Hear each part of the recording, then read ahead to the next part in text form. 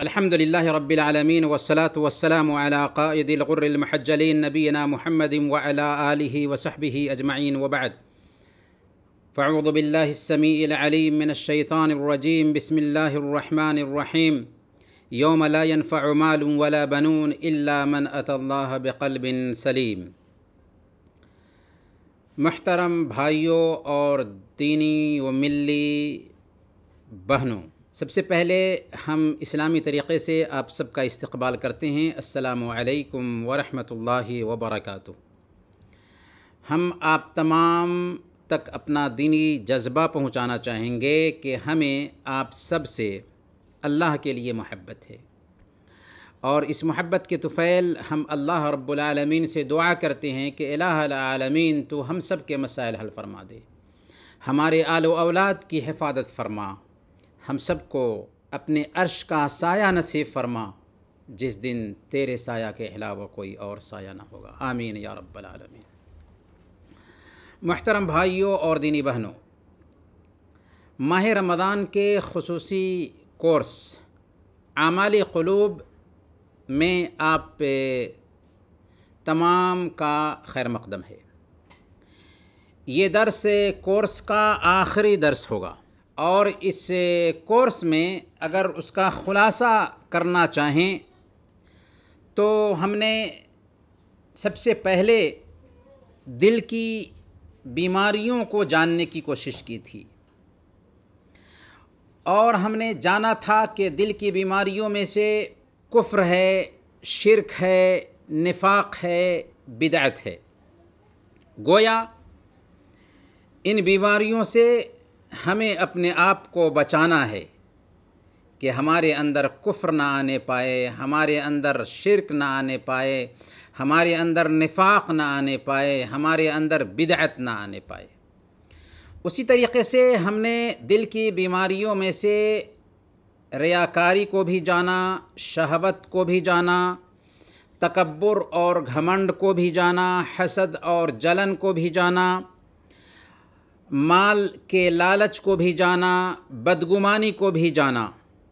तो अब हमें चाहिए कि अपनी ऐसी तरबियत करें कि हमारे अंदर रियाकारी ना आने पाए। हम अपनी ऐसी तरबियत करें कि हमारे अंदर नाजायज़ शहवत न पनपने पाए। हम अपने आप की ऐसी तरबियत करें कि हम घमंड और तकब्बर के शिकार न होने पाएँ। हम अपनी ऐसी तरबियत करें कि हम हसद और जलन के शिकार ना हों। माल के लालची ना बने और बदगुमानी के शिकार ना हों। उसी तरीक़े से। हमने दिल के आमाल में से सबसे पहले अखलास को जाना। इसलिए अब हमें अपने अमल में अखलास लाने की ट्रेनिंग हासिल करनी है। हमें सोचना है कि हम कैसे अपने अमलों में अखलास को बरत सकें। हमने दिल के अमाल में से एक अमल मुराकबा को जाना। अल्लाह की निगरानी का एहसास। अब हमें अपने आप की तरबियत करनी है कि कैसे अगर दरवाज़ा बंद है, कोई नहीं देख रहा है तो कैसे हम अल्लाह रब्बुल आलमीन की निगरानी का अपने ऊपर एहसास पैदा करें। अगर ये एहसास पैदा नहीं हो पाता है तो फिर हमारे इस कोर्स का कोई फ़ायदा नहीं हो पाएगा। उसी तरीक़े से हमने दिल के आमाल में से एक अमल खुशु को जाना। अब हमें अपने आप की तरबियत करनी है कि हम नमाज़ों में जब जाएँ तो अपनी नमाज़ में खुशु और खुदू पैदा करें। नमाज़ों में जाएँ तो हमें ये एहसास पैदा हो कि हम अपने रब से बात करने के लिए आए हैं और एहसान की कैफियत आ जाए। नमाज़ में हमें लज्जत मिलने लग जाए। और उसी तरीक़े से हमने दिल के आमाल में से एक अमल, मोहब्बत को जाना। अब हमें कोशिश ये करनी है कि वो काम करें जिन कामों की बुनियाद पर हमें अल्लाह रब्बुल आलमीन की मोहब्बत नसीब हो। दिल के आमाल में से एक अमल खौफ को हमने जाना। अब हमें उन आमाल का अहतमाम करना है जिनके ज़रिया हमारे दिल में अल्लाह रब्बुल आलमीन का खौफ हर वक्त हर आन और हर लम्हा बैठा रहे आज हम दिल के चंद आमाल को जानेंगे और फिर आपके पास अगर सवालात हैं तो इन आपके सवालात भी लेने की कोशिश करेंगे।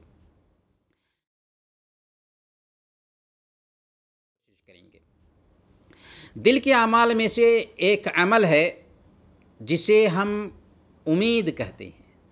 उम्मीद। और इसको अरबी ज़बान में रेजा कहा जाता है। उम्मीद का माना क्या होता है?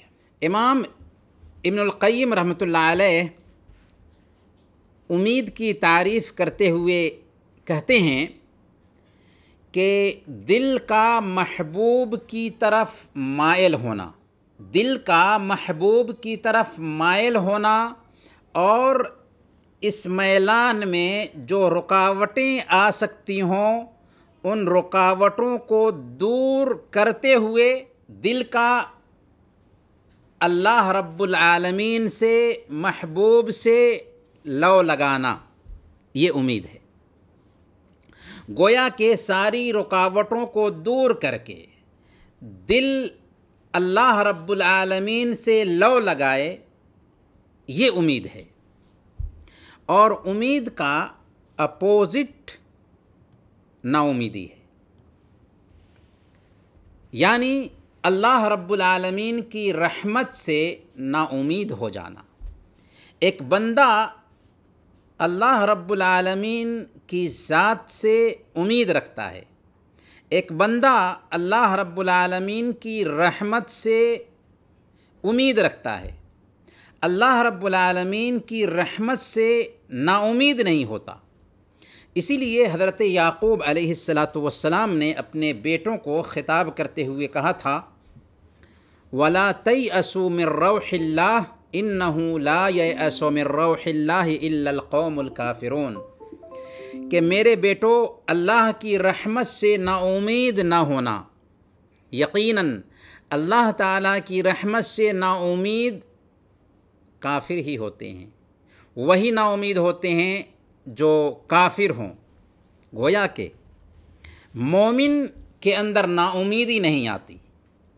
मतलब यह है कि ईमान वाले सख्त से सख्त हालात में भी अल्लाह रब्बुल आलमीन की ज़ात से उम्मीद लगाए होते हैं और नाउमीदी के शिकार नहीं होते। उम्मीद के जैसे ही एक लफ्ज़ है जिसको हम कहते हैं तमन्ना। उम्मीद अलग है और तमन्ना अलग चीज़ है। उम्मीद और तमन्ना में फ़र्क ये है कि तमन्ना में मेहनत और कोशिश नहीं होती है। लेकिन उम्मीद में मेहनत और कोशिश होती है। जो इंसान सुस्त होता है, काहिल होता है, कामचोर होता है, वो तमन्ना करता है। जबकि उम्मीद रखने वाला इंसान सुस्त नहीं होता। बल्कि वो मुराद को पाने में लगा रहता है। इसीलिए ईमान क्या है? हसन बसरी रहमतुल्लाह फरमाते हैं लई सल ईमान व बितहल्ली वला बितमन्नी वला किन मा वक़र फ़िलक़ल्ब व सद्दक़तुलमाल कि ईमान चिकनी चपरी बातें बनाने और तमन्नाओं की दुनिया आबाद करने का नाम नहीं है, बल्कि ईमान ये है कि दिल में पुख्ता यकीन बैठ जाए और आदा व जवारे उस यकीन की तस्दीक करें।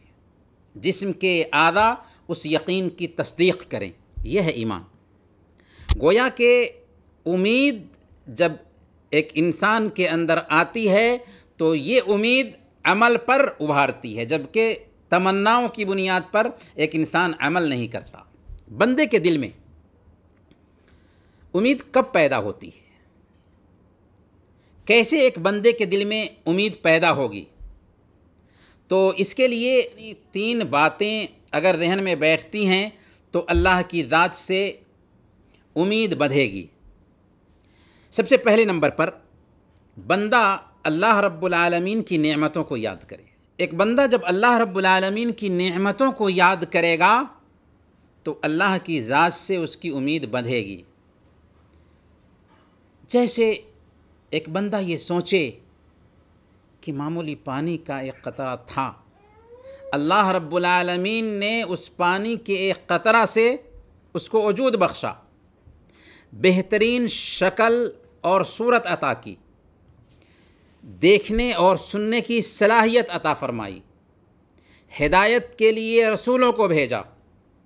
और कब्र में जाने के दिन तक अल्लाह रब्बुल आलमीन की नेमतें उसके साथ लगी हुई हैं। एक लम्हा के लिए भी अल्लाह की नेमतों से वो ओझल नहीं होता। जब वो अल्लाह रब्बुल आलमीन की इन नेमतों पे गौर करेगा कि सब कुछ तो उसी रब ने हमें दिया है तो हमारी उम्मीद उसी रब से बंधेगी दूसरे नंबर पर एक बंदा ये सोचे कि अल्लाह रब्बुल आलमीन जिसके साथ हम मामला करते हैं, वो बड़ा करीम रब है। अमल मामूली करते हैं। नेकी बहुत कम करते हैं। लेकिन अजीब तरीक़े से वो ज़्यादा से ज़्यादा सवाब अता फरमाता है। रमज़ान को ही देख लीजिए। अगर बंदा दस रातों में से किसी एक रात में, या रमज़ान के आखिरी दस दिनों की एकहरी रातों में से किसी एक रात में, शब कदर को ढूंढ लेता है तो उसको तिरासी साल चार महीने की इबादत का सवाब मिल रहा है। एक रात इबादत किया और तिरासी साल चार महीने की इबादत से बेहतर अजर और सवाब मिला। तो जब एक बंदा ये सोचेगा कि हम जिस रब से मामला करते हैं, वो अंदाज़ा से ज़्यादा देता है, लेकिन मजदूरी से ज़्यादा देना, ये सखी हस्ती की पहचान है। और अल्लाह रब्बुल आलमीन की ज़ात हमको तसव्वुर से ज़्यादा देती है।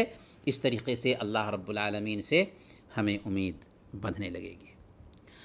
तीसरे नंबर पर एक बंदा ये ध्यान में रखे कि अल्लाह रब्बुल आलमीन बड़ा रहम करने वाला है वो रहमान है वो रहीम है वो करीम है वो गनी है वो सखी है वो दाता है अल्लाह रब्बुल आलमीन की रहमत का अंदाज़ा नहीं लगाया जा सकता। जब हम अल्लाह रब्बुल आलमीन की रहमत पर गौर करेंगे, अल्लाह रब्बुल आलमीन के करम पर गौर करेंगे तो अजीब तरीक़े से अल्लाह रब्बुल आलमीन से उम्मीद बधेगी। अल्लाह की ज़ात से उम्मीद रखने का हमको आखिर क्या फ़ायदा मिलने वाला है? अगर हम अल्लाह की ज़ात से उम्मीद रखते हैं तो हमारी ज़िंदगी में उसका क्या असर होता है? क्या फ़ायदा मिलता है हमें?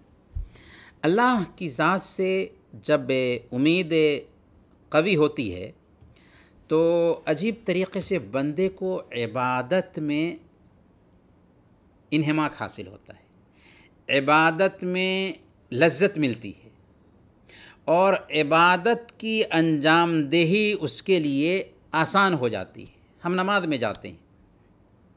नमाज़ अगर कुछ लंबी हो गई तो अगर हमारे दिल की हालत ठीक होगी और अल्लाह रब्बुल आलमीन की ज़ात से हम उम्मीद बांधे होंगे तो नमाज़ अगर लंबी होती है तो हमें और ज़्यादा लज्जत मिलने लगेगी। और अगर अल्लाह की ज़ात से उम्मीद कमज़ोर है तो नमाज़ में लज्जत तो क्या मिले कि दिल करेगा कि नमाज़ छोड़ करके निकल जाए। तो बंदा जब उम्मीद से होता है तो अजीब तरीक़े से उसको नमाज़ में लज्जत मिलती है। उसी तरीक़े से बंदा के अंदर आजजी का इधार पैदा होता है और जब ज़रूरत होती है तो ज़रूरत के वक्त अल्लाह रब्बुल आलमीन से लौ लगाता है। क्योंकि एक बंदे को अल्लाह की ज़ात से उम्मीद है कि जब मैं अल्लाह रब्बुल आलमीन के सामने हाथ फैलाऊँगा तो वो हमें महरूम नहीं करेगा।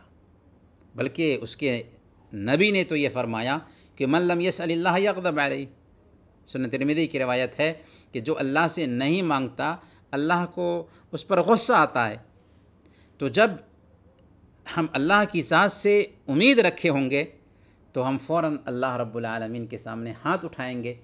हमें उम्मीद है कि अल्लाह के सामने हाथ उठाते हैं तो अल्लाह ज़रूर देता है।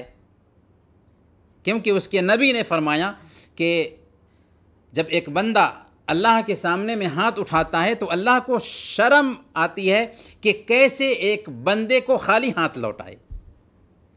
उम्मीद की बुनियाद पर बंदे का अल्लाह रब्बुल आलमीन के असमा सिफ़ात से भी बहुत गहरा ताल्लुक़ हो जाता है। अल्लाह ताला करीम है।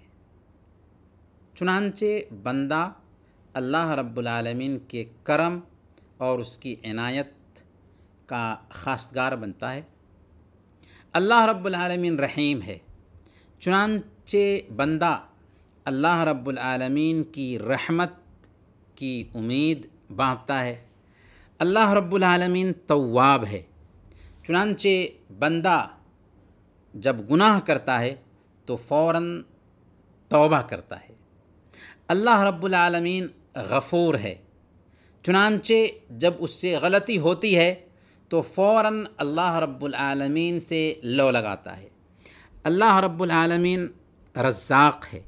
चुनानचे जब रोज़ी रोटी का मसला पेश आता है तो फ़ौर अल्लाह रब्बुल आलमीन से उम्मीद बांधता है। गर्ज़ के जब उम्मीद होती है तो अल्लाह रब्बुल आलमीन के असमाओं सिफ़ात से भी एक बंदे का ताल्लुक़ गहरा हो जाता है। और एक मोमिन की जो कैफियत होती है, वो दिन और रात में 24 घंटा वो उम्मीद और खौफ दोनों के बीच ज़िंदगी गुजारता है। यानी उसके साथ उम्मीद भी लगी होती है और उसके साथ खौफ भी होता है। अल्लाह ताला ने फरमाया, सुर इसरात नंबर 57 वयरजून रहमत हो वयखाफून अदाबहू अल्लाह की रहमत की उम्मीद रखते हैं और अल्लाह के अदाब से खौफजदा रहते हैं। मतलब? मतलब ये हुआ कि मोमिन उम्मीद और खौफ दोनों के साथ जीता है। मोमिन अल्लाह की ज़ात पर पुख्ता यकीन रखता है और अल्लाह की ज़ात से उम्मीद बांधे होता है और उसके साथ साथ उसके दिल में अल्लाह का डर भी होता है। यानी जन्नत का लालच भी होता है, जन्नत की ख्वाहिश भी होती है और जहन्नम का एक बंदे के अंदर डर भी होता है। दोनों एक साथ होता है। गोया के मोमिन की ज़िंदगी में उम्मीद और खौफ दोनों का चोली और दामन का साथ है। दोनों एक दूसरे से अलग नहीं हो सकते। हर उम्मीद रखने वाले के अंदर खौफ होना चाहिए और हर खौफ रखने वाले के अंदर उम्मीद होनी चाहिए। इसीलिए बाद ने कहा कि उम्मीद और खौफ की मिसाल परिंदे के दो परों के जैसे है। उम्मीद और खौफ की मिसाल परिंदे के दो परों के जैसे है कि अगर परिंदे के दोनों पर सही, सलामत और मुतवादिन हो तो परिंदे की उड़ान मौजू और दुरुस्त होगी। और अगर दोनों पर सही, सलामत और मुतवादिन ना हो तो परिंदे की उड़ान सही और मुतवादिन नहीं हो सकती। लेकिन कभी कभार खौफ का गलबा ज़्यादा होना चाहिए और कभी कभार उम्मीद का गलबा ज़्यादा होना चाहिए।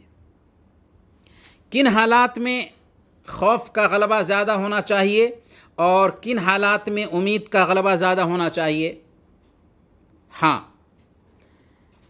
कुछ हालात हैं जिनमें मोमिन को चाहिए कि खौफ की बजाय उम्मीद के पहलू को गालिब रखे। यानी अपने ऊपर खौफ इतना ना तारी करे कि मायूस हो जाए, बल्कि उम्मीद के पहलू को खौफ से गालिब रखे। सबसे पहले नंबर पर मौत के वक्त, जबकि वो दुनिया से रुखसत हो रहा हो तो खौफ उसके अंदर ज़्यादा ना आए, बल्कि उम्मीद का पहलू गालिब होना चाहिए। क्यों? इसलिए कि सही मुस्लिम की रवायत है, अल्लाह के नबी सल्लल्लाहु अलैहि वसल्लम इरशाद फरमाते हैं, ला यमूतन्ना अहदुम मिनकुम इल्ला वह युहसिनुद्वन्ना बिल्लाह ताला कि किसी शख्स को मौत ना आए, मगर इस हाल में कि वो अल्लाह रब्बुल आलमीन के साथ अच्छा गुमान रखता हो। अच्छा गुमान रखना चाहिए। और एक हदीस क़ुदसी में अल्लाह के नबी सल्लल्लाहु अलैहि वसल्लम फरमाते हैं कि अल्लाह ताला फरमाता है, अना इंदा वन अब्दी भी मैं अपने बंदे के गुमान के मुताबिक मामला करता हूँ। तो बंदे का मौत से पहले अल्लाह रब्बुल आलमीन की ज़ात के ताल्लुक़ से गुमान अच्छा होना चाहिए। गोया कि उम्मीद का पहलू खौफ से ज़्यादा हो। दूसरी जगह जहाँ पर उम्मीद का पहलू गालिब होना चाहिए, जब बंदे से गुनाह हो जाए। जब बंदे से गुनाह हो जाए तो खौफ इतना अपने ऊपर तारी कर लेना कि मायूस हो जाए, ऐसा नहीं होना चाहिए। बल्कि उम्मीद का पहलू हो कि अल्लाह रब्बुल आलमीन से हम माफ़ी मांगेंगे तो वो माफ़ कर देगा। चुनानचे सौ आदमी का कातिल भी जब सच्ची तौबा करता है तो अल्लाह रब्बुल आलमीन उसके गुनाहों को माफ़ फरमा देता है। क्योंकि अल्लाह रब्बुल आलमीन की ज़ात से उसने उम्मीद बांधी थी। हाँ कुछ हालात हैं जहाँ खौफ का पहलू उम्मीद पर गालिब होना चाहिए, खौफ ज़्यादा होना चाहिए। इनमें सबसे पहले नंबर पर जब एक बंदा खुशहाली में हो, अगर अल्लाह रब्बुल आलमीन ने हमको नेमतों में रखा है, अगर हम खुशहाली के साथ ज़िंदगी गुजार रहे हैं तो हमें इतराना नहीं चाहिए। अल्लाह से ज़्यादा से ज़्यादा उम्मीद नहीं बांधना चाहिए, बल्कि खौफ का पहलू वहाँ पर गालिब रहना चाहिए कि हो न हो, ये खुशहाली आजमाइश हो। और उस खुशहाली में अल्लाह का हक़ अदा करने की कोशिश करनी चाहिए। दूसरे नंबर पर जहाँ पर खौफ का पहलू, उम्मीद पर गालिब होना चाहिए, वो है गुनाह होते वक्त खौफ का पहलू गालिब आ जाए। गुनाह हो गया तो अल्लाह की दात से उम्मीद हो कि हम तौबा करेंगे तो अल्लाह माफ़ कर देगा। लेकिन जब हम गुनाह कर रहे हैं तो उस वक्त खौफ का पहलू गालिब आना चाहिए। क्योंकि बहुत सारे लोग अल्लाह की रहमत की उम्मीद में गुनाह पर गुनाह किए जाते हैं। ये अल्लाह रब्बुल की ज़ात के ताल्लुक़ से ये ठिठाई है। ये अल्लाह की रहमत को ना समझने का नतीजा है कि एक इंसान गुनाह पर गुनाह किए जा रहा है और ये सोचता है कि अल्लाह माफ़ करने वाला है, अल्लाह रहम करने वाला है, अल्लाह माफ़ करने वाला है तो सख्त सज़ा देने वाला भी है। क्योंकि उसने फरमाया इन रब का सरीक़ाब अल्लाह रब्बुल आलमीन सख्त सज़ा देने वाला है तो अल्लाह रब्बुल आलमीन माफ़ करने वाला है तो सख्त से सख्त सज़ा भी देने वाला है। इसलिए एक बंदा जब गुनाह कर रहा है तो गुनाह के वक्त में अल्लाह रब्बुल आलमीन के खौफ के पहलू को गालिब रखे कि ऐसा ना हो कि अल्लाह रब्बुल आलमीन का अदाब आ जाए। ऐसा ना हो कि हम जिस वक्त अल्लाह की गैरत को चैलेंज कर रहे थे, उसी वक्त अल्लाह ताला ज़मीन को हुक्म दे और ज़मीन मुझे निकल ले नफ्स के फरेब में एक बंदे को मुबतला नहीं होना चाहिए। आइए एक और दिल के अमाल में से एक अमल को जानते हैं। तकवा।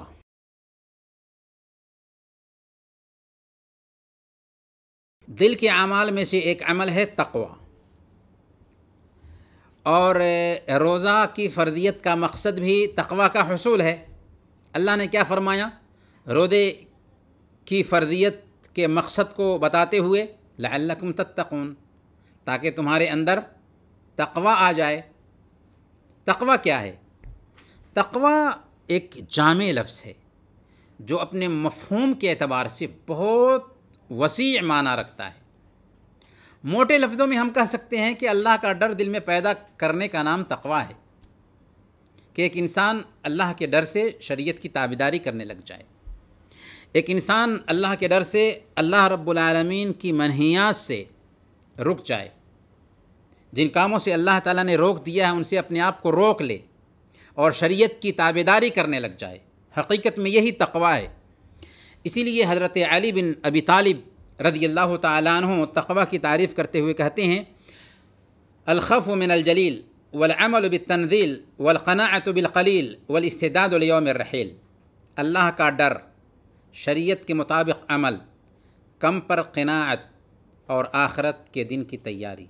यानी एक बंदे के अंदर अल्लाह का डर पैदा हो जाए, शरीयत के मुताबिक वो अमल करने लगे, अपने मन के हिसाब से नहीं।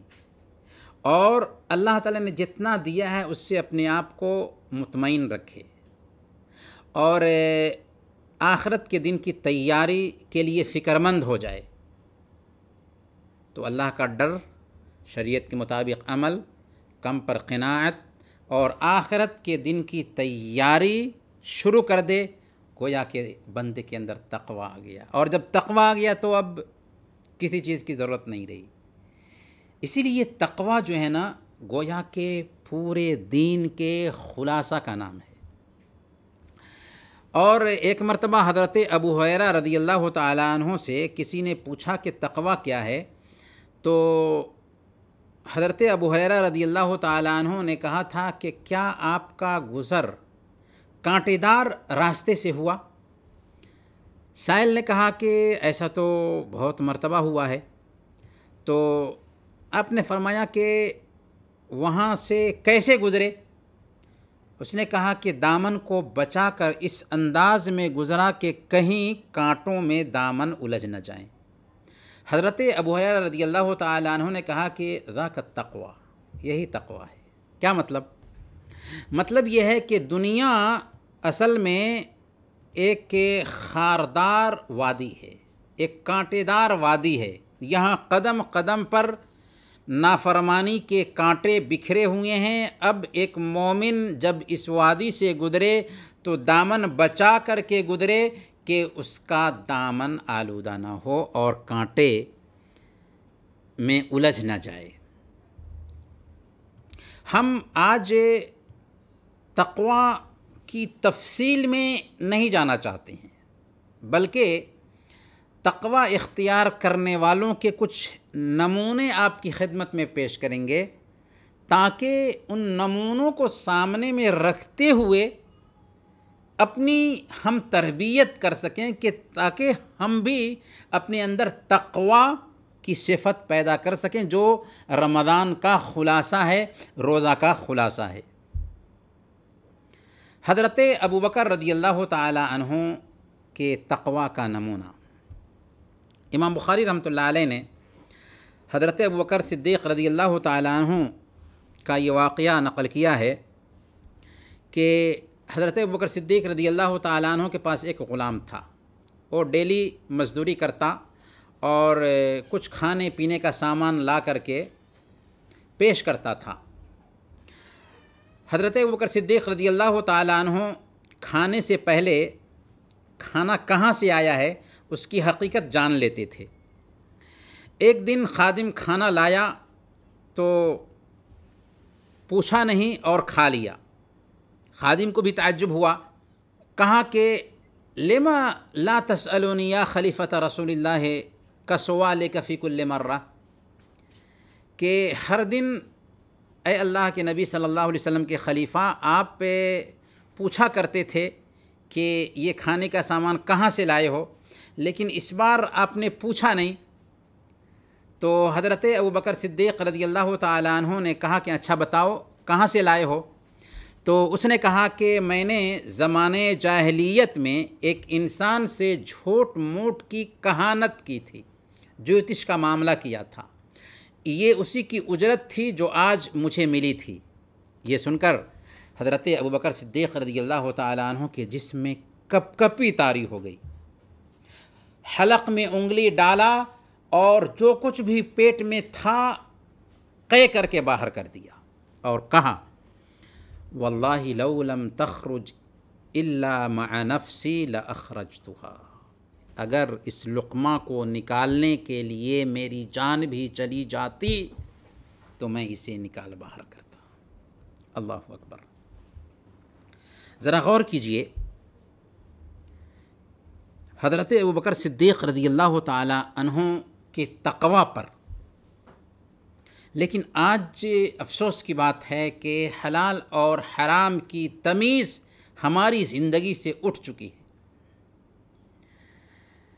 वो दौर था कि अल्लाह वालों की बीवियाँ जब वो घर से निकलते थे तो कहा करती थीं कि, या हादा इत्तक़िल्लाह फ़ी रिज़्क़ना फ़इन्ना नस्बिर अलजु वला नस्बिर अलन्नार कि ए अल्लाह के बंदे, हमें जो कुछ तुम खिलाना चाहते हो, उस रोज़ी के हवाले से अल्लाह का डर रखना। क्योंकि हम भूख पर तो सब्र कर सकते हैं, लेकिन जहन्नम की आग पर सब्र नहीं कर सकते। इसलिए कमाई में हलाल ही आए हराम का दखल ना हो, इस सिलसिले में भी एक बंदे को हमेशा गौर करना चाहिए, क्योंकि असल में ये तकवा है। तकवा के नमूनों में से एक नमूना हज़रत उस्मान रदी अल्लाह तहों का है। हज़रत उस्मान रदी अल्लाह तहों का वाक़ है कि एक बार वो अपने नौकर का कान मलते हैं। किसी मामले पर ऐसा किया था, जब तहकीक की तो कसूर ग़ुलाम का नहीं निकला। अब हज़रत उस्मान रदी अल्लाह तहों को अपनी गलती पर नदामत हुई। अल्लाह का डर लाक हुआ। और ग़ुलाम को बुला करके कहते हैं कि जैसे मैंने तेरा कान मला था, वैसे ही मुझसे तुम बदला ले लो। ग़ुलाम ने कहा कि हदौर ऐसी गुस्ताखी मैं कैसे कर सकता हूँ? लेकिन हज़रत उस्मान रदी अल्लाह तहों ज़बरदस्ती उसका हाथ अपने कान की तरफ़ करते हैं और कहते हैं कि उशदुद, सख्ती से मल। या हब्बदा क़िसासन फ़िद दुनिया, ला क़िसासन फ़िल आखिरा। क्या ही अच्छा है कि दुनिया में बदला मिल जाए, आखरत में कोई बदला के लिए मौका ना हो। तो ये है अल्लाह का डर। अल्लाह का तकवा। अल्लाह का तकवा इख्तियार करने वालों के क़स्सों में से एक क़िस्सा हारून रशीद का है। एक दिन वो अपने ख़दम और हशम के साथ कहीं जा रहे थे। एक यहूदी मिलता है और कहता है अमीरुलमोमिनीन इत्तक़िल्ला अमीरुलमोमिनीन अल्लाह से डरें।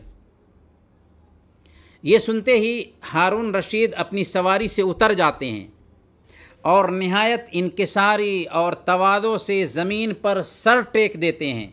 फिर यहूदी की ज़रूरत पूरी करने का हुक्म देते हैं। जब किसी ने अमीरमिन से कहा, यानी हारून रशीद से कहा कि आपने ऐसा क्यों किया कि उसने कहा था इत्तक़िल्ला और आप ज़मीन पर सर टेक दे रहे हैं। तो हारून रशीद ने कहा, क्योंकि जब उसने इत्तक़िल्लाह कहा तो मैंने अल्लाह रब्बुल आलमीन के उस फरमान को याद किया। व इदाक़ील लहुत्तक़िल्लाह अख़दतुल्इज़्ज़त बिल फ़हसबहु जहन्नम वलब इसलमिहात कि जब उससे कहा जाता है कि अल्लाह से डरो तो उसको अपने वक़ार का ख़्याल गुनाह पर आमादा कर देता है। ऐसे शख्स के लिए जहन्नम काफ़ी है और वो बुरा ठिकाना है। एक यहूदी है और बादशाह वक्त के पास आकर के कहता है अय अमीरमिन अल्लाह से डरिए।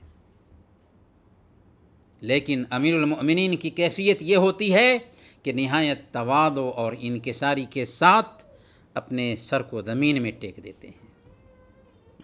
ये एहसास दिलाने के लिए कि वाकई मुझे अल्लाह का डर पैदा करने की ज़रूरत है। अगर हमसे कोई कहेगा, अल्लाह से डरो तो हमारी क्या कैफियत होगी? जी हाँ हम जज्बात में आ जाएँगे। आग बगोला हो जाएँगे। गुरूर से आँखें लाल कर लेंगे। हमारी रगें फूल जाएँगी। और नहाय सख्ती से उसको जवाब देंगे कि चलो बड़ा अल्लाह का डर रखने वाला पैदा हुआ है। बड़े दूध के धुले लगते हो। नहीं। अल्लाह का जो बंदा होता है, जब उसे कहा जाए, अल्लाह से डरो तो फ़ौर आजी इख्तियार करता है। क्योंकि अल्लाह का डर दिल में पैदा करने की ज़रूरत है ही। जिसके अंदर अल्लाह का डर होगा, वाकई उसके दिल में अल्लाह रब्बुल आलमीन की अदमत का एहसास पैदा होगा। और अगर कोई कहता है कि अल्लाह से डरो तो वाकई उसके अंदर तवादो पैदा होगा, इनके सारी आएगी। इसीलिए हज़रत इबन मसऊद रदी अल्लाह तु कहते हैं कि कफ़ा बिलमर इसमन अयुक़ाल लहू इत्तक़िल्ला फ़यक़ुल अलई का बेनफ़सिक मिसल का यनसोनी अगर किसी आदमी से कहा जाए इत्तक़िल्ला तो उसके गुनाहगार होने के लिए ये काफ़ी है कि ये सुनकर वो कहने लगे कि अपना देखो, तेरे जैसा आदमी मुझे नसीहत करने चला है। नहीं, ऐसा नहीं होना चाहिए। इमाम अबू हनीफ़ा रहमतुल्लाह अलैह एक दिन बाज़ार से गुज़र रहे थे। किसी लड़के के पाँव पर उनका पाँव पर गया। उसने चीख कर कहा, क्या तुम अल्लाह से नहीं डरते? ये सुनते ही इमाम अबू हनीफ़ा रहमतुल्लाह अलैह पर गशी तारी हो गई और बेहोश होकर गिर पड़े। जब पूछा गया तो उन्होंने कहा कि किसी ने मुझसे कहा था कि क्या तुम अल्लाह से नहीं डरते? मुझे एहसास हुआ कि शायद उसकी ज़बान से गैबी आवाज़ ने मुझे तंबीह की हो। अल्लाह का डर दिल में होना चाहिए।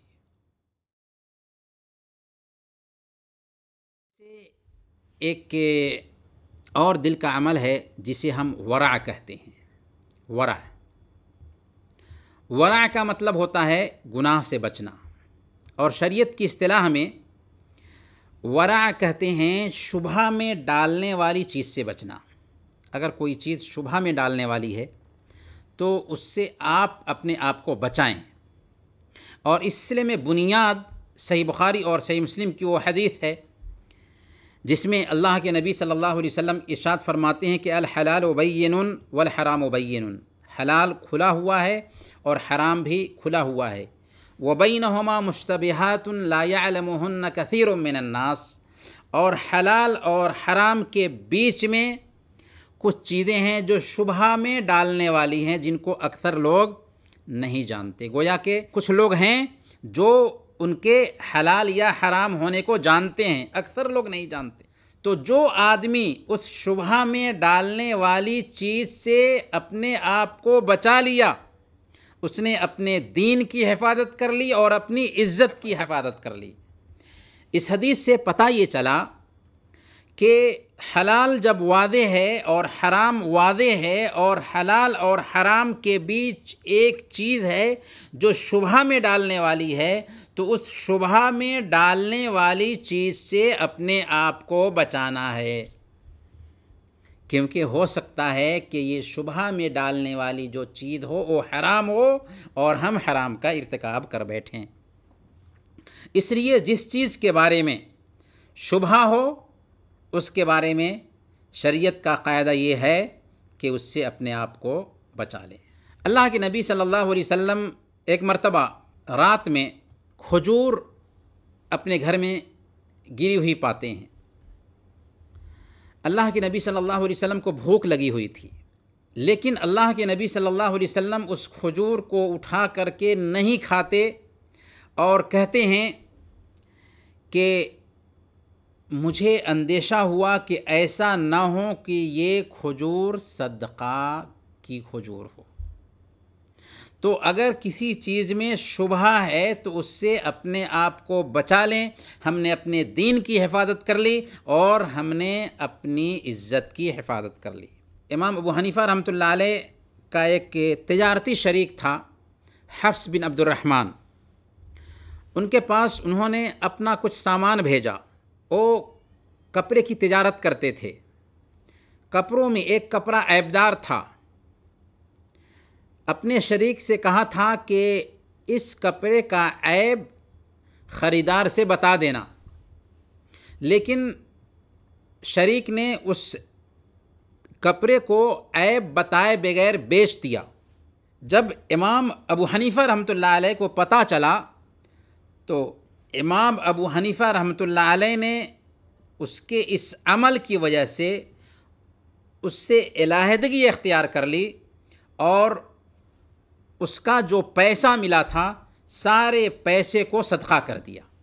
ये सोच करके कि किसी कपड़े में ऐब था, ऐब वाला कपड़ा और सही कपड़ा दोनों का रेट एक ले लिया गया तो उसमें शुभ का माल आ गया। अब हम उसको कैसे इस्तेमाल करें? मर्दों के शाना बशाना, बहुत सारी इस्लाम की तारीख़ में ऐसी औरतें गुजरी हैं, जिन्होंने अजीब तरीक़े से वरा और शुभा से वरा इख्तियार किया और शुभा से अपने आप को बचाया। इमाम इब्न अब दुनिया ने अपनी किताब अलवरा में एक ख़ातून का वाक़ नकल किया है कि उस औरत को अपने शौहर की वफ़ात की ख़बर मिली तो उस वक्त वो आटा गूँध रही थी। ख़बर मिलते ही उसने आटा से अपना हाथ उठा लिया। इसलिए नहीं कि उसको सोग आया, बल्कि इसलिए कि उसने कहा कि इसमें अब वरसा भी शरीक हो चुके हैं। यानी मौत के बाद ये आटा उसका नहीं रहा, बल्कि मैयत के तरका में ये शामिल हो चुका है। अब तकसीम से पहले उसे इस्तेमाल करना क्यों कर सही हो सकता है? एक दूसरी औरत को उसके शौहर की वफ़ात की ख़बर मिली तो उसने जलते हुए चिराग को बुझा दिया और कहा कि चिराग के तेल में अब सारे वरसा शरीक हो चुके हैं। अब हम उस चिराग को कैसे जलाएँ कि उसमें दूसरे लोगों का भी हिस्सा आ चुका है। ये है वरा। ये है शुभात से ख़ुद को बचाने का जज्बा। और जब एक बंदा वरा इख्तियार करता है, शुभात से अपने आप को बचाता है तो अजीब तरीक़े से उसके अंदर तकवा पैदा होता है और अजीब तरीक़े से वो अल्लाह रब्बुल का मुत्तकी बंदा बनता है। आखिर में हम अल्लाह रब्बुल से दुआ करते हैं कि अल्लाह आलमीन तो हम सब के मसाइल हल फरमा दे, हमारे आल औलाद की हिफाजत फरमाए। आलमीन हम सबको ज़िंदा रखना तो ईमान पर ज़िंदा रखना, वफ़ात देना तो ईमान पर वफ़ात देना। आलमीन हम में से जो भाई या बहन बीमार हैं, अगरचे उनकी बीमारी मायूस कन क्यों ना हो